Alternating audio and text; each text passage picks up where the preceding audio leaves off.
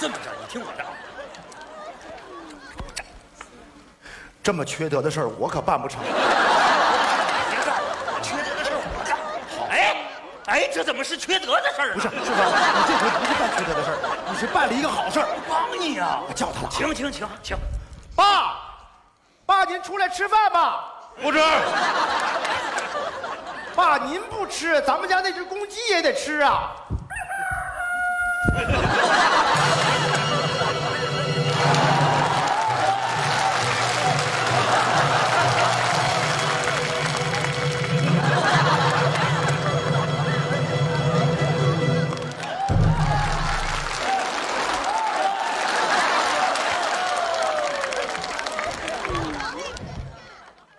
爸，人呢？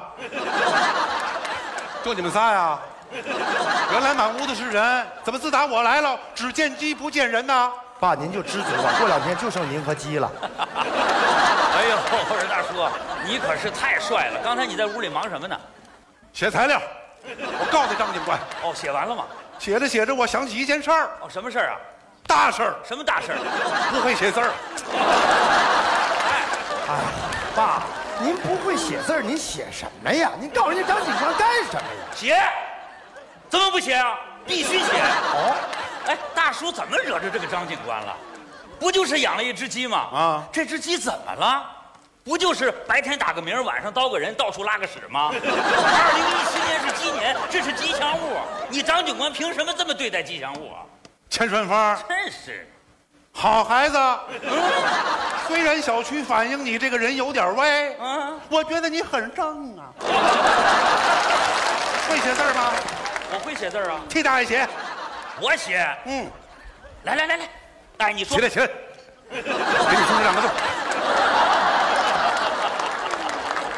第一，哎，他执行公务我没意见，但是他态度不好。对，态度不好。爸，人家怎么态度不好了？我这么大岁数，他进门应不应该喊我一声“大爷应该。应该啊，”？他没喊，那他喊的什么呀？啊，他喊我老爷子。又喊老爷子不对呀？不对，当然不对了哼。老爷子是谁呀、老爷子是老爷的儿子，你应该叫舅舅。无亲不叫舅，好家伙，叫舅舅那就是骂人。大叔，啊我可不可以这么写啊？啊啊！小张警官一进门，对一个七十多岁的老同志大喝一声：“小舅子 陈顺风，我没看错你，你小子是真聪明。他可比你们俩都坏啊！那倒是。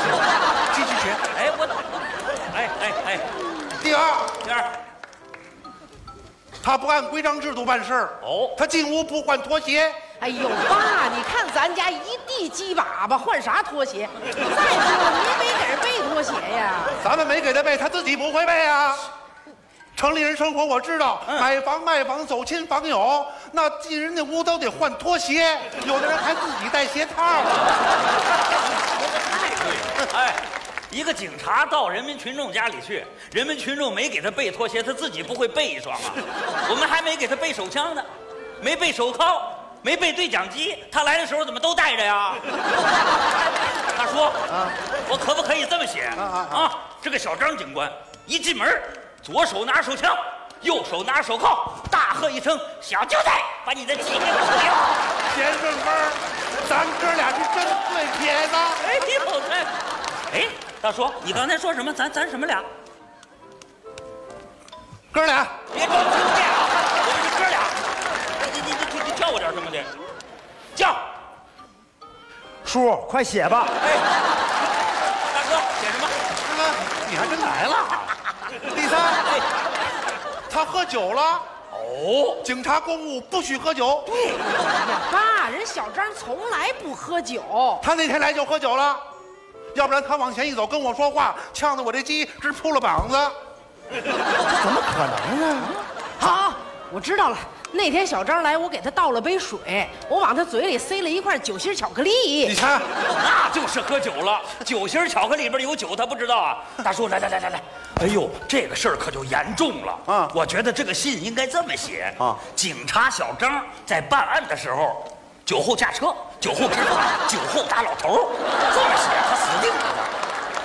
这太狠了。不狠呐，这样才过瘾呢。这样，这封信要是他领导看见了，把他开除出警察队伍。滚！先把你从这家开除出去。不是我，我这不是替你解气呢你吗？解气也不能这么写呀。啊，我是想出气，但是我不能砸人饭碗子呀。这么大岁数，不能干那缺德的事儿。哎，信不写了，我也不告了。爸，您这么做才对。